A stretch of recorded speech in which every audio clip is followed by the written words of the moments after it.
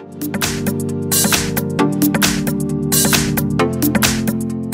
I've got Huawei P Smart Z and let me show you how to add and remove Google account on the following device.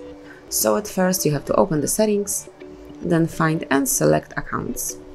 Go to Google because I have already added my Google account and if you would like to get rid of this currently logged in Google account, just tap on remove. And then confirm that you would like to remove this account and delete all its messages, contacts and other data from the phone by tapping on remove. And that's it, as you can see it disappeared and it's no longer connected with this device.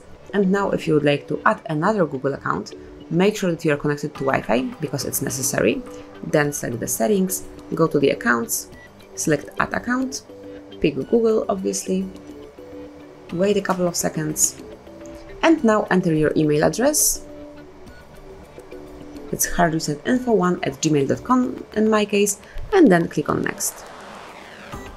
Now it's time to enter the password, so let me do it off the screen. And as only it is done,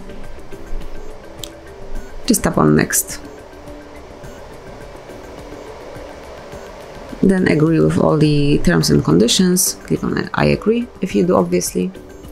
And that's actually all. Now you can just come along with all of the content. As you can see, backup is active. Click on accept to confirm your selection of these Google services and you've just added Google account to your device. Take a look here, it's connected and you can use your device with all the features from Google. So that would be all. So you can remove and add Google account to your Huawei P Smart Z. Thank you for watching, please subscribe our channel and leave the thumbs up.